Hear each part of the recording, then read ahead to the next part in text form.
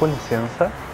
Doutora, pelo que eu vi aqui, eu realizei tudo o que você solicitou hoje. Precisa de mais alguma coisa? Não, eu acho que é isso. Só vou mandar mais algumas mensagens para os pacientes. Se você quiser ir para casa, a gente pode ir. Tudo bem, obrigado, viu? Boa noite. Boa noite, até amanhã.